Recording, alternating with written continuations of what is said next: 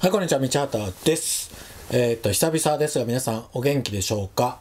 えっ、と、村の方もね、ようやくほとんどの雪がなくなってきました。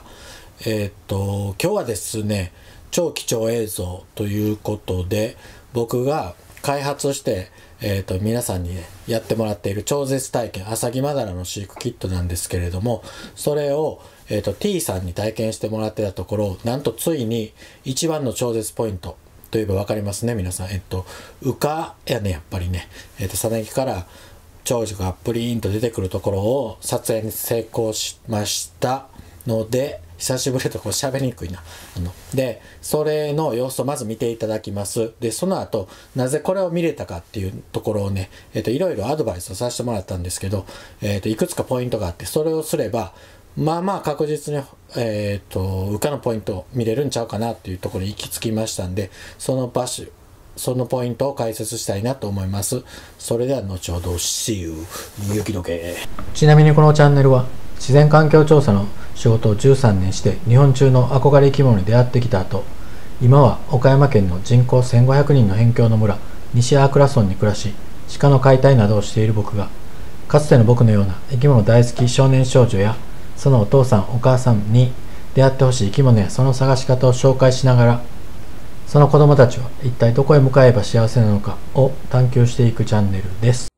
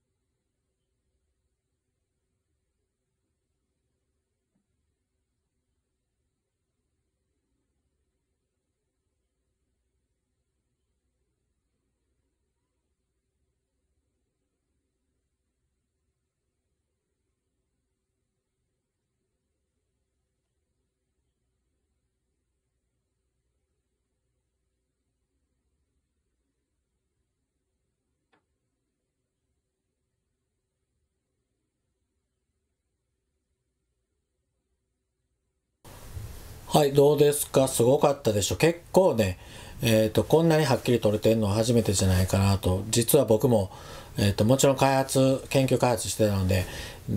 何百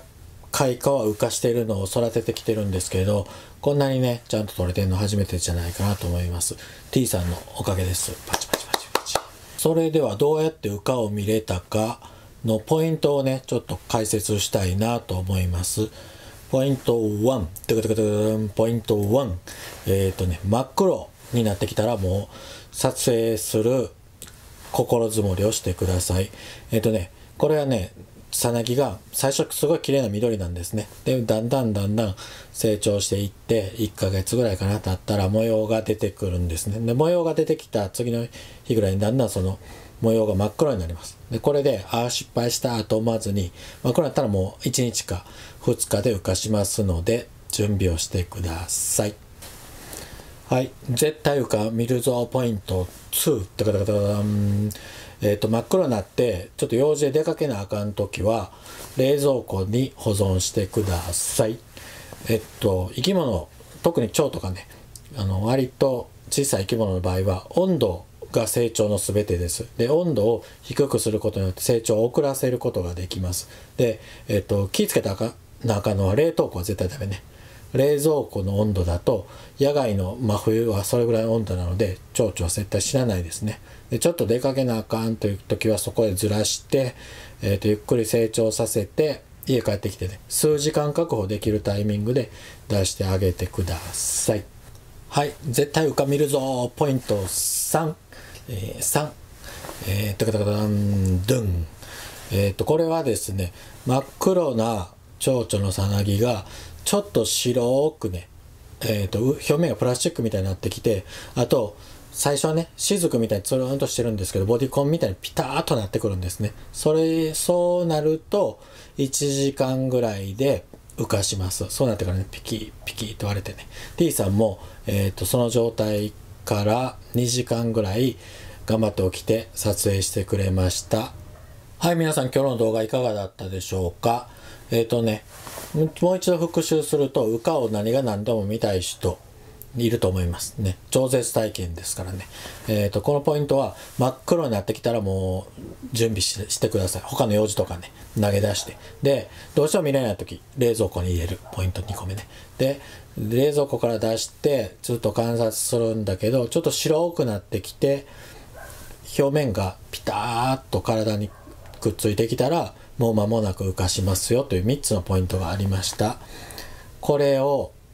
やっとねこれ T さんのおかげで解明できたんでね本当に感謝です。T さんはすごいのはすごい詳しい人じゃないですね。僕みたいなあの生き物のオタクでもないですし全く腸とかを買ったことのない人です。それまではね。そんな人がえーと、観察してくれました。いろいろ。あのいや知らんからこそできることって結構あるなと思っていてすごい大事なポイントやなと思います。えっ、ー、とそれではまた次の動画で。See you 雪解け。イエーイ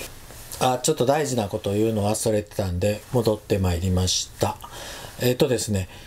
あのさなぎの中に僕もそうなんだけど大抵の人なんか水みたいなねあの赤ちゃん人間の赤ちゃんとかで用水ってある水の中に使って蝶々がいると思ってたんですね。でなぜ思ってたかというといつも浮かした後の蝶々がぶら下がってる状態下に液が落ちてるんですね。だからあこの中に使って成長したいなと思ってたんですけど実は T さんに観察してもらった結果液には使ってないと。じゃああのでも下にね液ポタポタって最後の方落ちてるんですね。あれは何かというとお尻のポルーンって最初出るでしょ。あのすごいね。体の、えー、太い感じのお尻が先出てきますねその中の液がポタポタっと落ちているということが分かりましたなんかね思い込みとかで思ってることと意外と違うかったりする生き物ってやっぱり不思議やなと思いますまさに超絶体験それだけ言いたかったのでじゃあこれにて終わります。それではまた次の動画で。See you! 雪解け万歳